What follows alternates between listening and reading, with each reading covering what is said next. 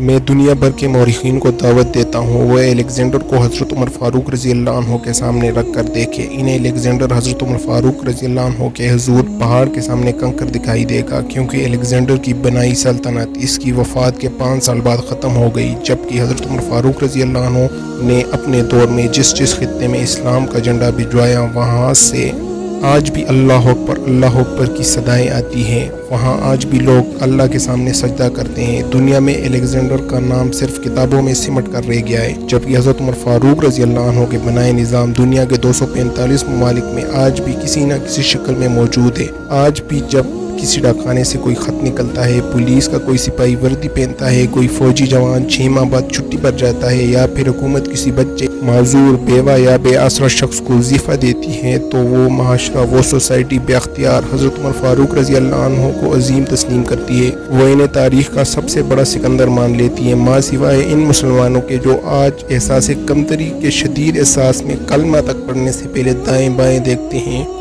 लाहौर के मुसलमानों ने एक बार अंग्रेज़ सरकार को धमकी दी। अगर हम घरों से निकल पड़े तो तुम्हें चंगेज़ खान याद आ जाएगा। इस पर जवाहरलाल नेहरू ने मुस्कुरा कर कहा था, अफसोस, आज चंगेज़ खान की धमकी देने वाले मुसलमान ये भूल गए। इनकी तारीख में एक हज़रत उमर फ़ारूक रज़ी भी था, जिनके बारे में दुनिया इतराफ़ करती है कि इस्लाम में अगर एक उम्र और होता तो आज दुनिया में सिर्फ़ इस्लाम ही दीन होता। हम आज भी ये भूले हुए हैं कि हम में एक हज़रत उमर फ़ारूक भी थे, जिनके बारे में रसूलुल्लाह सल्लल्लाहु अलैहि वसल्लम ने फरमाया था, मेरे बाद कोई नबी होता तो वो उमर बिन खिताब होते।